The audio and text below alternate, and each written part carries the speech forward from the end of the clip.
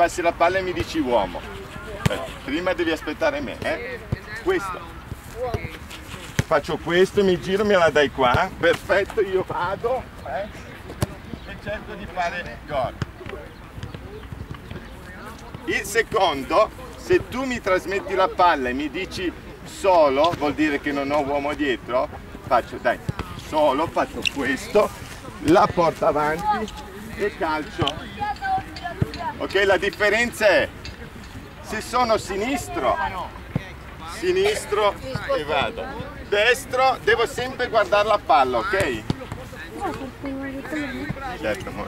Proviamo?